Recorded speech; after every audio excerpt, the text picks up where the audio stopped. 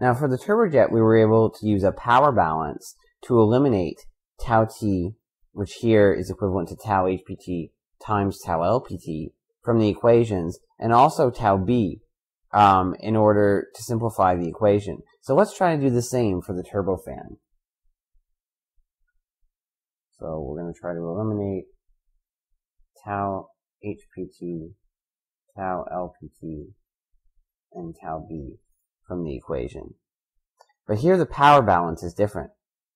Only a small amount of the power generated by the LPT is used to provide the fan uh, stagnation temperature ratio for the core flow. So the high-speed shaft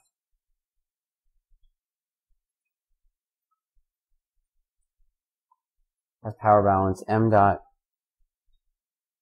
delta hg for the core is equal to m dot delta ht for the high pressure turbine. And the low speed shaft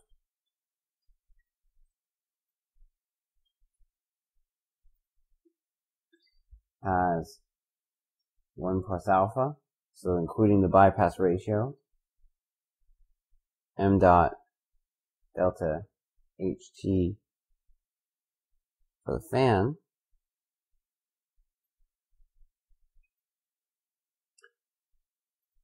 this is for compressor, not core, is m dot delta ht for the low pressure turbine. So note the imbalance in mass flow applied between uh, these two parts of the power balance for the low speed shaft. So this is where things become significantly different than for the turbojet engine. So we can write that TT3 minus TT2 prime equals TT4 minus TT4 prime. We'll call that equation 1. So this is the power balance um, across the compressor and the high pressure turbine. And we have that 1 plus alpha TT2 prime minus TT2 so the temperature rise across the fan is TT4 prime minus TT5 the temperature change across the low pressure uh, turbine. We'll call that equation 2 so from 1 we get that tau c minus 1 times TT2 prime equals TT4 1 minus tau HPT and therefore tau C minus 1 and write this as tau F theta naught equals theta 4 1 minus tau HPT. So tau HPT, we rearrange,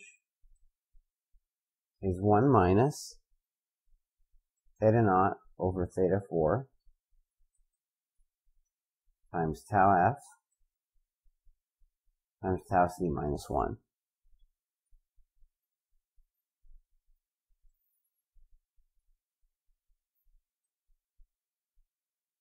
Then for, from equation 2,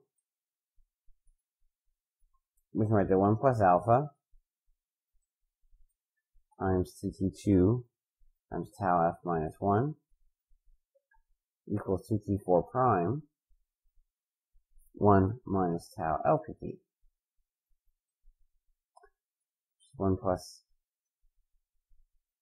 alpha theta naught tau f minus 1 equals theta 4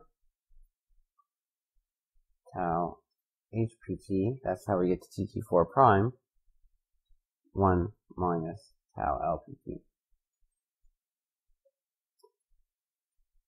So therefore tau lpt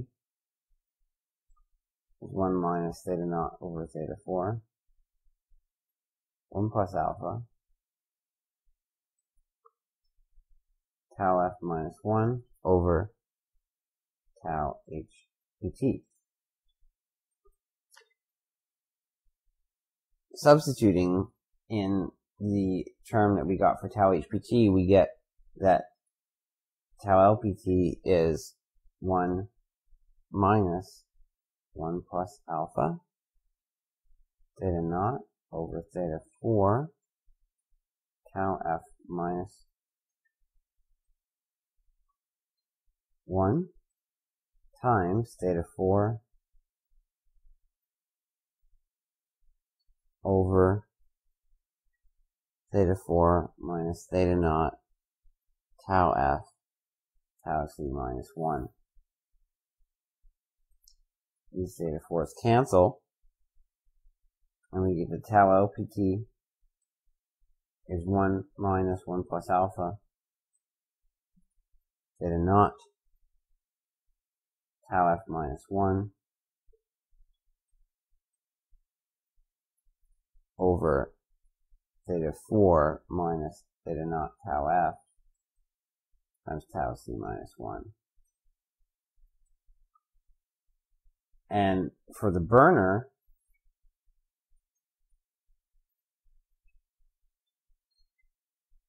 we have that tau b, which is tt4 over tt3,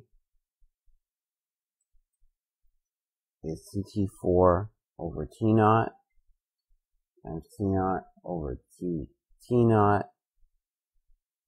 times tt2 over tt2 prime because tt naught and tt2 prime are equal. tt2 prime over tt3. Simplifying that using our non-dimensional parameters, we can write this as theta 4 over theta naught tau f tau c. Now, directly substituting all of these uh, expressions into the specific thrust equation isn't very helpful. Instead, let's make some further simplifications. So what we have is the specific thrust equals a function of the flight Mach number, theta 4, tau c, tau f, and alpha. And these last two are the new parameters for the turbofan.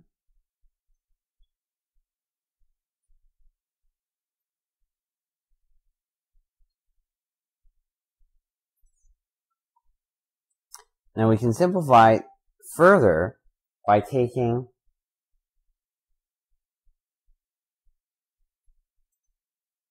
C8 equals C6. So that the two jet velocities are equal.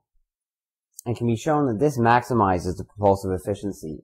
And without going through the rigorous mathematical proof, uh, it's easy to see why, because essentially this is going to eliminate mixing losses between the two streams consider when we looked at the problem of um, two streams of different velocities going into a mixing chamber.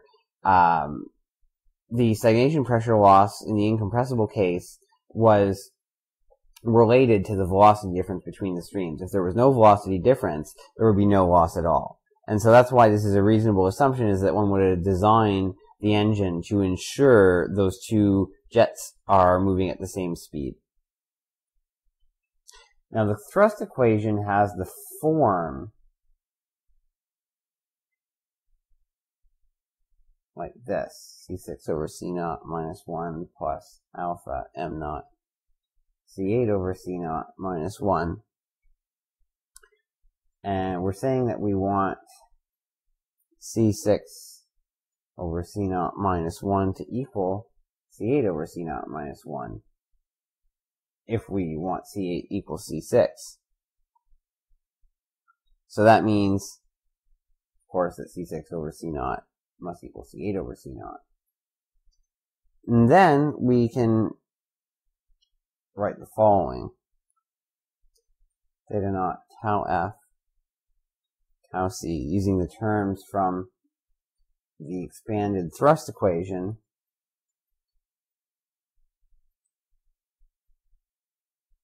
tau b over theta naught minus 1 all square root equals 2 over gamma minus 1 theta naught tau f minus 1 all over m naught.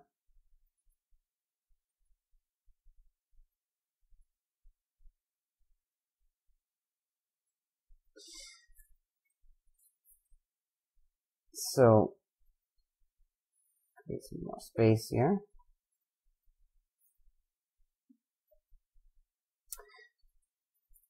So, simplifying a bit, we can write this as theta naught tau f, tau c, tau hpt, tau lpt, minus 1, over theta naught minus 1,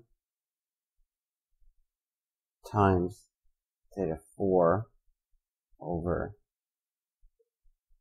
theta naught tau f tau c is equal to theta naught tau f minus 1 over theta naught minus 1. Now, we basically want to solve this for tau f.